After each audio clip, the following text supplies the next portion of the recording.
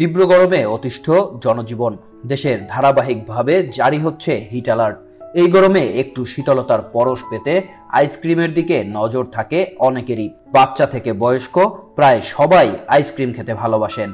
খাওয়া মাত্রই শরীরের ভেতরে যে ঠান্ডা, স্রোত বয়ে যায়। কিন্তু আইসক্রিম খেলে কি আসলেই শরীরের গরম কমে, নাকি হিতে বিপরীত হয়?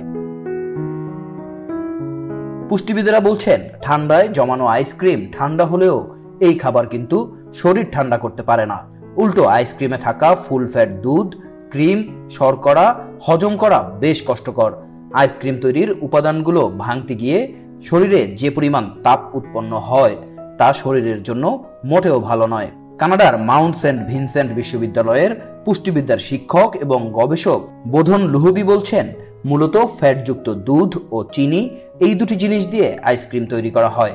পরিপাকের সময়ে ফ্যাট ভাঙতে গেলে শরীরে সবচেয়ে বেশি তাপ উৎপন্ন হয়। চিকিৎসা বিজ্ঞানের পরিভাষায় যাকে ডায়েট ইন্ডিউস থার্মোজেনেসিস বলা হয়।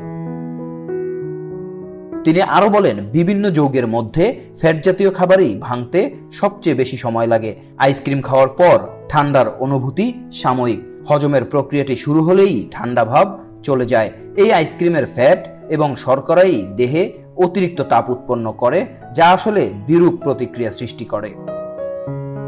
আয়ুর্বেদও কিন্তু একই কথা বলছে। শুধু ঠান্ডা আইসক্রিম নয়, বরফ দেওয়া যে কোনো পানীয়র ক্ষেত্রেই একই রকম সমস্যা হতে পারে। তাই ঠান্ডা তাপমাত্রার খাবার না খেয়ে শরীরকে ভেতর থেকে ঠান্ডা রাখতে পারে এমন প্রাকৃতিক খাবার খাওয়াই ভালো বলে মনে করছেন পুষ্টিবিদরা।